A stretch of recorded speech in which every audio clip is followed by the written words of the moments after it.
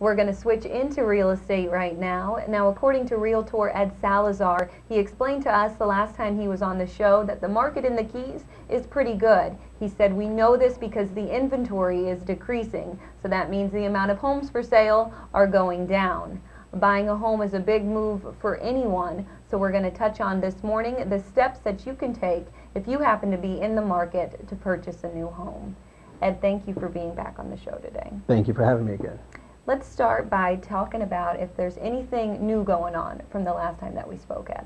Well, we're, we're still pretty much where we were. Um, I noticed one thing. Uh, I do different search criteria for different customers of mine. And one of the um, search criteria I did recently, I actually showed um, when I pulled everything up, they were actually in that certain criteria of the market. There were more properties under contract at this time than there are actually for sale. Mm-hmm. So that's uh, another indication that the, the inventory is, is remaining kind of low compared to, to, years past. Okay, so that's a good thing, right? Uh, yeah, it shows, you know, it shows it's still, I don't know if it shows it's still a buyer's market, but it shows it's a healthy market because a lot of things are going under contract. But um, there's a couple of properties I wanted to talk about 1st mm-hmm. uh, that are some that could be so, of some interest to your viewers um, because they're properties that within the last nine or ten months were purchased and then resold and at somewhat of a profit. And so it may be that they're just anomalies at this time because we're not in that type of market where you can flip a property. Mm-hmm. You can you can invest and maybe make a little bit of money. But, uh, but anyway, these are, these are kind of interesting, and I ran across these recently. Um, one of them is at uh, 1312 William Street, which is around the Casa Marina area. This was purchased in November for $250,000 and it needed work. It was a renovation project. Um, the gentleman who bought it had no intentions of flipping it, so to speak. And flipping just basically means you buy it, you fix it up, and turn it around for a good profit. Okay. Um, his intentions were he, he, retired here, and his his intentions were to live in the house. Well, he had some some life changes, and so he he sold it. Okay. The interesting thing is, is that he bought it in November for 250000 and then he listed it in July after doing a little bit of work to it, enough to make a, a, a good enough difference where it looked really good. He listed it in uh, July for 399 It went under contract uh, in seven days and ended up selling for 386.5 last month, okay. um, which was a gain of about 136,000 in nine months. Mm -hmm. um, another one is 1605 Duncan Street. Um, that was purchased in December for $290,000 cash. And I'm a little bit familiar with that property too. I'd shown it a couple times to some of my own customers. And that too was a little bit of a renovation project. Not so much as the, the William Street one, but it, it was a little bit of a project.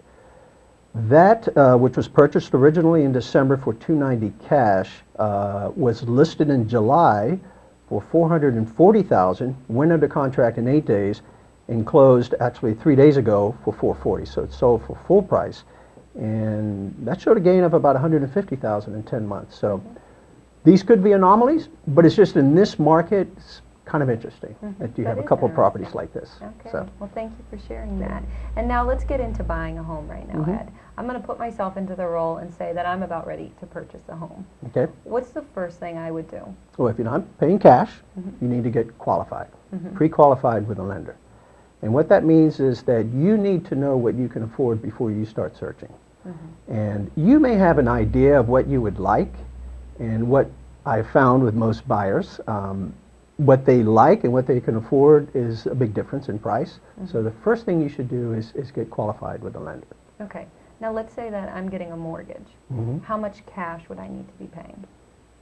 Um, well, that depends. Um, you can come in with as little as uh, 3.5% if it's FHA financing. Mm -hmm.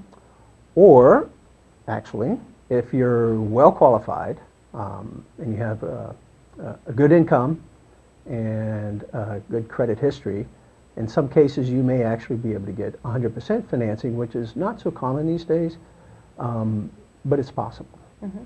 Now, what are my payments going to be like, Ed? Well, the, the, the, payments depend, of course, on all the numbers.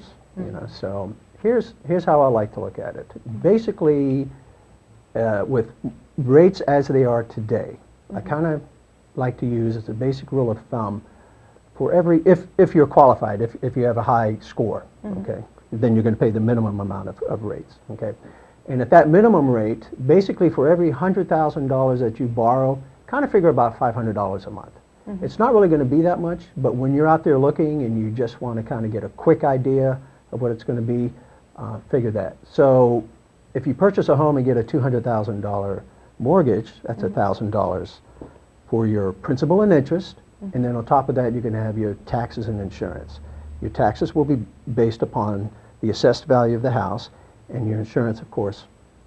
The insurance is more of a higher variable than the other ones are. Mhm. So, Okay. And now let's say that I find a house that I like. mhm. Now, How much do I offer? good question. Um, the best thing to do, interesting thing here, is use your realtor to Mhm. guide you to do what we call a comparable market analysis Mhm. so that you can get an idea of what comparable properties have sold for and so you can make an offer. And the reason you want to make an offer based on the market is because if you're getting a mortgage, that property is going to have to appraise. Mhm. So if you want to offer more, or if in your negotiating, the seller demands more, but it's something that we think it's not going to appraise, we would probably say, you know, you shouldn't do that because should you go down the line and it doesn't appraise, this is going to fall apart. Mhm. Now, what really is all going to happen? Like, do I have to be under contract then, Ed? Until the closing would go through, or how does that work? Okay. The end process? Okay, well, what will happen is you'll, you'll negotiate on a house Mhm. and between the seller and, and then you go into contract, Mhm. okay? You agree to buy, they agree to sell. What you'll have first is a, usually a couple of contingencies. One would most likely be an inspection period. Mhm. And during the inspection period, you'll have the right to do one of three things, basically. Mhm. Um, You can either uh, accept the property as is and move to close. You could cancel Mhm. uh, in case you find anything wrong with it that you don't like and get whatever deposit money you have into it, you get that back. Or you could try to renegotiate. Mhm. So those are your three options during the inspection period. After the inspection period, if it's contingent upon financing, then it'll be whether or not you get the loan. Mhm. And then if there are no other contingencies than that, then once you have gotten loan approval and loan commitment, then it's what we call pending, and the only thing left is just to finish the title work and, and close. Okay. And of course, if I'd have any questions about this, you'd be able to answer those on the spot, wouldn't you? I hope so. Wonderful. Well, if anybody has questions for Ed as well, you can contact him by emailing the email address you see on the bottom of the screen, or you can call him at the number you see listed. Thanks, Ed, for sharing all this information this morning. You're That's going to do it for me today, everyone. I thank you for tuning in this morning. I hope you have a great rest of your day, and you can join me back tomorrow morning at 7 a.m. and again at 8.30 a.m.